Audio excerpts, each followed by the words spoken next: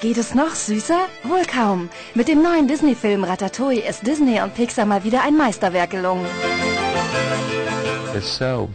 Der Film ist so schön. Es ist einer der schönsten, die Pixar je gemacht hat. Das ist wunderbar. Die Hauptfigur ist eine kleine Ratte namens Remy. Und die hat besondere Fähigkeiten. Diese Ratte hat wirklich eine ganz, ganz feine Zunge und vor allem eine noch feinere Nase. Und die möchte oder wird jetzt, deren großen Leidenschaft ist das Kochen. Durch Zufall gerät sie in eines der angesagtesten Gourmet-Restaurants Paris.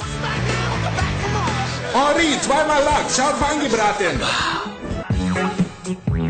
Doch für eine Ratte ist es wahrlich nicht einfach, in der Haute Cuisine Fuß zu fassen.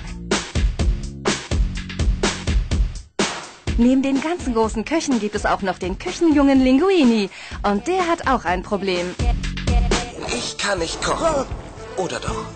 Aber du kannst es, stimmt's?